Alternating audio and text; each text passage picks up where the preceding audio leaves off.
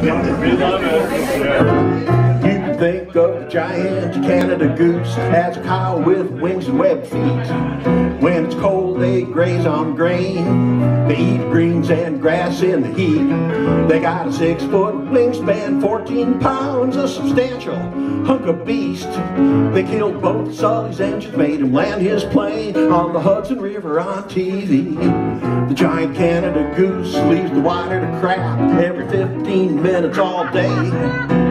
Drivings pile up on lawns and fields, dog birds crap two pounds a day.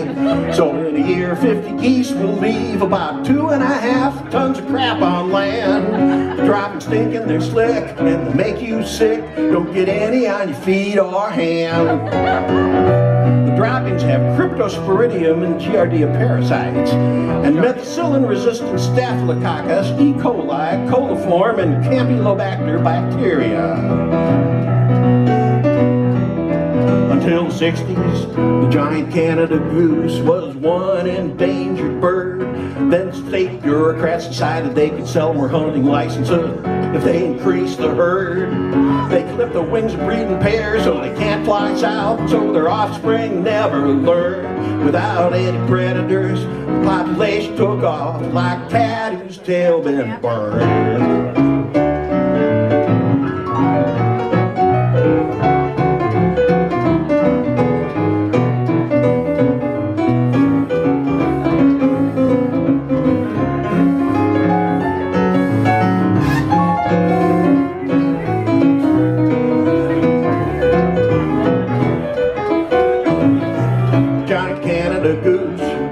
Is federally protected migratory bird. Even though we don't really migrate anymore, he just hangs around here with a herd.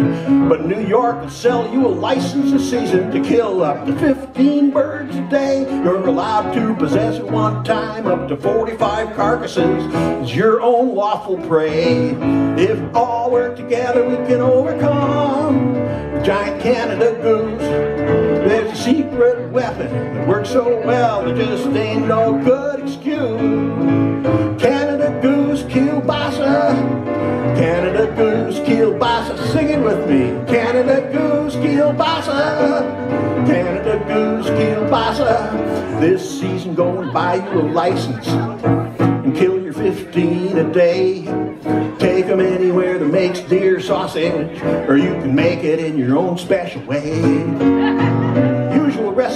requires goose breast, kosher salt, pork fat, Insta Cure, black pepper, marjoram, sugar, sugar, garlic, and hog casings. And you'll need a meat grinder and a sausage stuffer, so you should seriously consider your friendly neighborhood deer processor.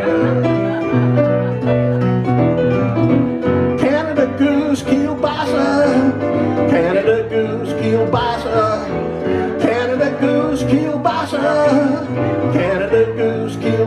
If we all work together, it can save us all from the disease-ridden, parasite-infested, mean and ornery giant.